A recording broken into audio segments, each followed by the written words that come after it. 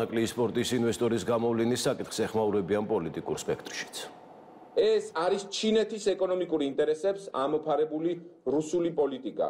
ამ ხელისუფლებამ რუსეთის ორბიტაზე გაიყვანა ეს ქვეყანა და საერთაშორისო კორუფციულ აბლაბუდაში ცდილობს ჩვენს გახვევას. დიახ, ეს არის დეკლარირებული პოლიტიკა, რომელიც დაიწყო ანაკლით და მთავრდება ანაკლით. ანაკლის პროექტის საბოლოოდ ჩინეთის ხელში ჩაგდება ბოლო წერტილია ხელისუფლების რუსული გეოპოლიტიკური ზრახვების. ეს ისედაც მოსავლიანი იყო, ეს ტენდერში არც ერთმა დასავლურმა კომპანიამ არ მიიღო მონაწილეობა, იცოდა რომ ყველა რომ ეს კონკურსი და ეს ტენდერი გამოცხადდა მხოლოდ ჩინელებისათვის, შვეიცარიული კომპანიაც ბუტაფორია იყო. ჩვენ ხედავთ რომ დასავლური ინვესტიციები ანაკლიის სპორტიდან იქნა განდევნილი.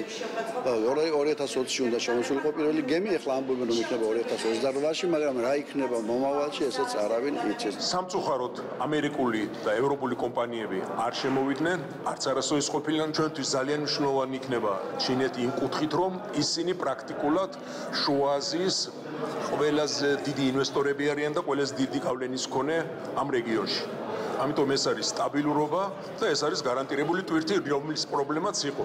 თუმცა მე ვისურვებდი, მე ადრეც ვთქვი, ეს იქნებოდა ჩემი ოცნება, რომ ნაწილი ყოფილიყო ჩინური, ნაწილი ევროპული და ნაწილი ამერიკული. ეს იქნებოდა იდეალური. კომისია მსჯელობს რამდენად შეესაბამება და მისაღებია ის წინადადები, რომელიც წარმოქმნილია ამ ჩინური კომპანიის მხრიდან და ამის შემდეგ უკვე გაფორმდება ხელშეკრულება, იცით თქვენ რომ წინასწარ განვაცხადეთ, რომ სახელმწიფოს წილი იქნება 51%, ხოლო კერძო კომპანიის 59%. ანუ ეს არის IPP, რო რასაც ქვია, ეს არის კერძო და საჯარო თანამშრომლობის, ასე ვთქვათ, ფორმის კომპანია, რომელიც განახორციელებს ინვესტიციებს, განახორციელებს სამუშაოებს და ჩვენ მიხართ იმისა, რომ ამ მავნებლებმა ხაზარაძისა და დანარჩენების მავნებლობამ ჩვენ წლები დაგვაკარგინა, დაგვაკარგინა მილიარდობით შემოსავალი, მაინც საქართველოს მიაღწევს იმას, რომ პორტი ექნება ჩვენს ქვეყანას, რომელიც კიდევ უფრო მეტად გააძლიერებს ამ სატრანსპორტო დერეფანს, კიდევ უფრო მეტად იქნება შემოსულობები ჩვენს ბიუჯეტში